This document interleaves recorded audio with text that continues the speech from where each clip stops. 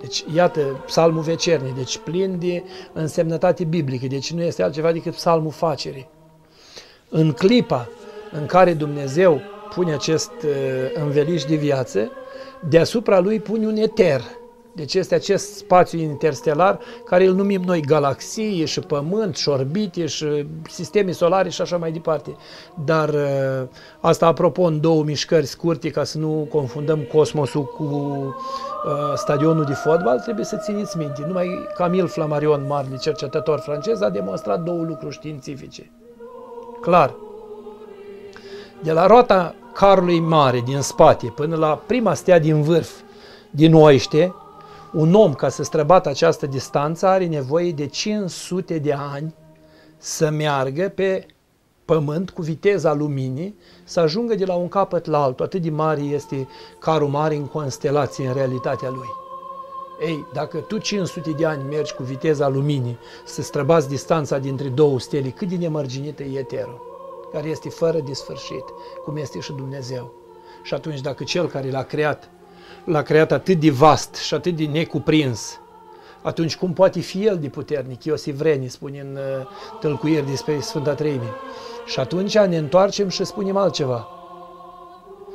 Dacă omul a ieșit din, din cosmos, cum spunem noi, a ieșit de pe pământ și a ieșit în orbită, în eter, și s-a plimbat în jurul Pământului și n-a putut ajunge mai departe pentru că distanța dintre două galaxii, tot Camil Flammarion arată, este atât de mare că omul ar trebui de la o constelație la alta să facă o mie de ani de călătorie, ani pământești, cu viteza luminii pe secundă. Deci vă dați seama cât e de mare distanța între două galaxii, dar cei dincolo de acele galaxii, cei dincolo de celelalte galaxii sau în următoarele galaxii care urmează, pentru că noi cerul când îl vedem, îl vedem infinit. Ei, acest eter este cerul dracilor. Deci dracii, în momentul când au căzut de la slava lui Dumnezeu, ei au venit asupra pământului și au căzut exact cum cad fulgi de zăpadă, așa arată în hronograf Chedrinos. Și spune că Antonii care a văzut, spune că sunt mai deși ca pâcla și ca ceața și ca ciurul, aproape că s-ar înnegri văzduhul dacă ei s-ar înmaterializa. Ei, acești dragi sunt sub stăpânirea lui Dumnezeu și ei nu pot mișca un pai. Deci ei spune așa, cu un singur drac, dacă ar vrea, cu o gheară ar întoarce tot pământul. Dar nu este îngăduit de Dumnezeu pentru că ei nu sunt în ascultare de El și atunci nu pot atinge materia creată de El. Care arde, arde de puterea lui Dumnezeu. Și tot Camil Flamarion spune un singur lucru. Dacă pământul, dacă soarele s-ar apropia de pământ, numai cu o mie de kilometri ani lumină pe secundă, pământul s-ar topi. Deci ați înțeles? Atâta putere are soarele de la Dumnezeu dată. El este o stea incandescentă după știință și așa mai departe. Dar nimeni nu cunoaște ce este acolo în soare. Acolo e focul mai presus de firea puterii dumnezeiești. Acolo e izvorul focului. Ei, acel foc protejează pământul ca nimic necurat din el să nu pătrundă spre cerurile cerurilor, despre cerurile cerești, dar nici nu permite dracilor să ajungă în acel loc fără știința lui Dumnezeu.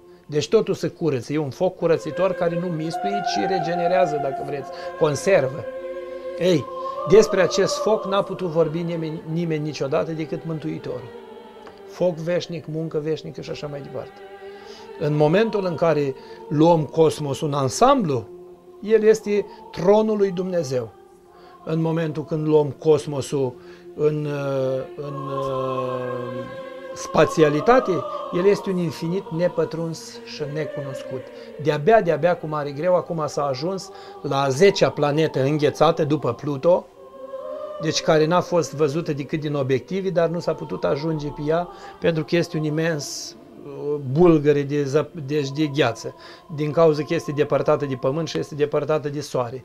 Dar care este rolul lui Dumnezeu? Rolul lui Dumnezeu este unul de a ține echilibru între aceste planete și chiar dacă știința a demonstrat că Marte poate avea viață sau s-au găsit vapori de apă sau sunt urme de oxigen și nu știu ce mai departe, Dumnezeu, care este Dumnezeu și este atotputernic, oricând El ar putea pregăti o altă lume, sau oricând ar putea pregăti o altă planetă pentru a fi populată cu viață, dar tot după principiile și sistemele lui, nu principiile și sistemele umane.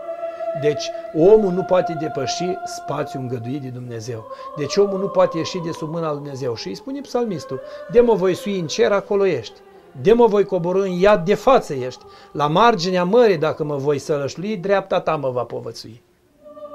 Deci iată, deci nu este altceva, nu este altceva universul decât un punct cardinal care are o axă verticală și una orizontală, ceea ce înseamnă crucea. Deci Dumnezeu trage crucea din pământ și o duce până la el la cer, până la tron, pe scaun ai fost cu tatăl, toate umplându-le cel acești cuprins, și Dumnezeu unește răsăritul cu apusul, nu un uh, sistem teologic, ideologic, catolicism, ortodoxie, ci mează zi cu mează noapte răsăritul cu apusul, și face o singură împărăție și aia e împărăția iubirii sau cum spune Mântuitorul Iisus Hristos, slava Tatălui meu, mă duc să vă gătesc vouă locurile cele gătite mai înainte de întemeierea lumii.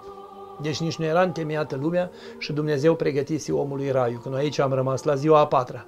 Ei, după ce am trecut de acești luminători creați de Dumnezeu, de-abia acum începem să ne apropiem de ce? De finalul esențial al creației. A văzut Dumnezeu că e singură și goală, n-are nici măcar cine să-și dea cu părerea. Îngerii se uitau, vedeau, nu îi interesa, ei slăveau pe Dumnezeu. Și atunci s-a gândit Dumnezeu să facă o creatură care să fie cea mai interesantă decât toate. Și a spus așa, creatura asta trebuie să cuprindă în ea patru lumi. Am să folosesc lumea cerească și am să pun în ea sufletul care e din natură divină și nemuritoare și veșnică și nevăzută și nematerială și am să pun în ea și lumea văzută care cuprinde totul. Și noi prindem în noi, prindem în noi înșine toate cele patru lumi. Dacă luăm carnea, suntem lumea animală, dacă luăm uh, mineralele din care suntem formați și toate elementele chimice, nu suntem decât astrali, iar dacă luăm uh, sufletul cu puterea lui, care înseamnă foc, suntem uh, cerești. Pentru că cealaltă apa, deci care dă viața, deci cea care circulă în cerș și pe pământ, este cea care menține elementul de echilibru între cele patru lumi. Pentru că tot trupul nostru, tot stomacul, toată fierea, toate sunt încărcate de alge și de vegetale care asigură digestia. Deci lumea ierbivorilor, cum s-ar spune, sau lumea buruienilor. Așa că vrând nevrând, deci noi suntem un tot unitar. Și s-o gândit Dumnezeu după ce l-a făcut atât de complex pe om și atât de interesant, o să așa, trebuie să-l fac să samene și cu mine. Și a spus să-l facem după chipul și asemănarea noastră. Și atunci s-a plecat asupra lui, i-a suflat suflare de viață și i-a dat ceea ce noi demonstrăm că suntem Dumnezei, că așa spune psalmistul, toți sunteți Dumnezei și fie celui prea înalt. I-a dat înțelepciunea, rațiunea și cuvântul. Deci omul poate gândi, poate vorbi și poate raționa, înțelege. Deci nu ragi ca vaca, nu meaună ca pisica, nu netează sau urlă ca lupul, nu grohăi ca porcul, ci vorbește cum a vorbit Dumnezeu. Dumnezeu când a venit pe pământ din fecioară s-a întrupat ca om și ne-a arătat nou că suntem modelul lui, iar când ne-a făcut pe noi, ne-a făcut oameni după chipul și asemănarea lui. Deci aceasta este universalitatea. De aici începe universul. De la un pământ gol și un cer plin de îngeri, nevăzut, neștiut, necunoscut, la un pământ cu identitate, care este de o vârstă cu soarele și cu luna și cu stelele, pentru că de acolo începe numărătoarea timpului, iar după aceea pământul mai are o vârstă adamică. Deci de la izgonirea lui Adam din rai și până în clipa în care stăm noi astăzi de vorbă, pământul nostru are vârsta adamică de 7500 de ani. Deci în momentul de față, noi am trecut de veacul 7 și jumate. Suntem undeva 13 sau 15 în clipa de față. 7513 sau 15, nu știu exact. Dar vârsta dumnezească este legată de șederea lui Adam în rai, după care toți Sfinții Părinți spun că Adam a stat mai mult sau mai puțin, Părintele Stăniloae consemnă într-un tratat de teologie și spune așa. Se vede că greșeala lui Adam fiind foarte precoce și șederea în rai a fost foarte scurtă după unii 40 de zile, după unii 40 de ani, după unii 4 zile, după alții 7 zile, cât ar fi durat și creația. După unii chiar nici o zi. Unii teologi, nimeni nu poate arăta timpul adamic din rai.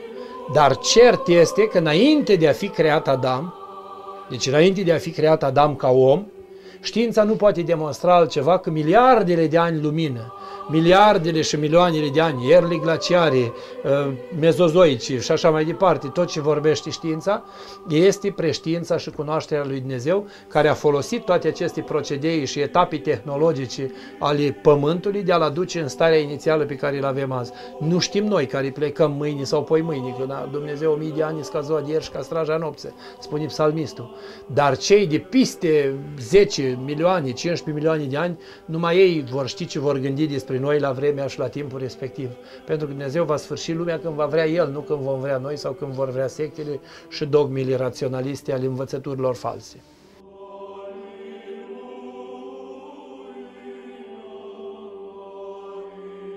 Omul, regele creației sau regele făpturii, pentru că Dumnezeu l-a creat să-l poată contempla și pe el, lumea nevăzută și lumea văzută. Cerurile spun slava lui Dumnezeu și facerea mâinilor lui vestește tăria. Psalmistul David.